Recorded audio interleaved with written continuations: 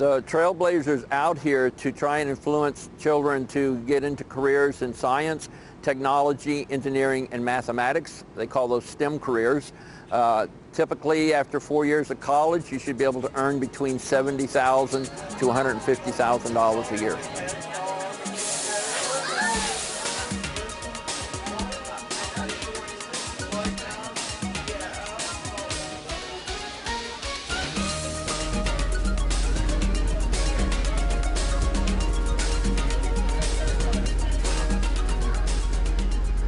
I was a classroom teacher for 12 years.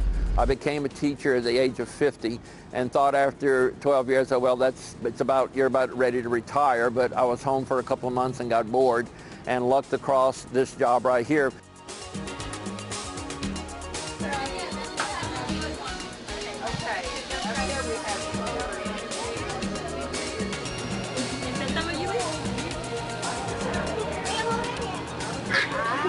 It's the greatest experience I've ever had as an educator because you get to see kids getting very excited about learning, and that's what you get into teaching for in the first place.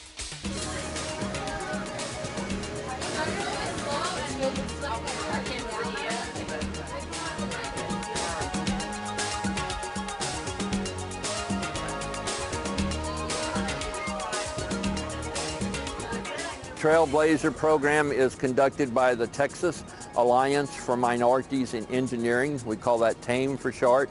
And we office in the University of Texas Engineering Campus in Austin.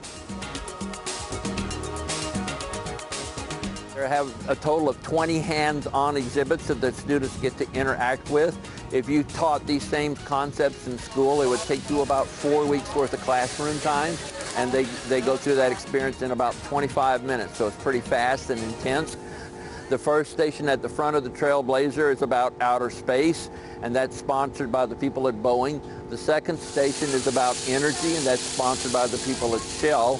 The third station is called biotechnology, and it's sponsored by the folks at 3M. The fourth station is about weather, that's sponsored by the people at the BASF Chemical Company. And the last station is Lockheed Martin, and it's about aerodynamics. This new trailer was built about a year ago at a cost of $232,000. So it's, it's, an undertaking by about 20 different companies.